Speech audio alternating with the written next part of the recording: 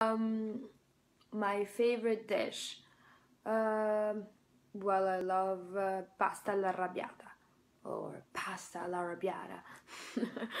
uh, my favorite um, designer.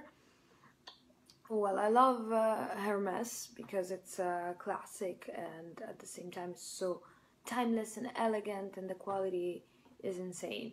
Um, but I also admire very much Victoria Beckham for what she has achieved and from where she's come and how far she's gone. It takes a lot of guts and a lot of hard work, so I am a, I'm a huge fan of her.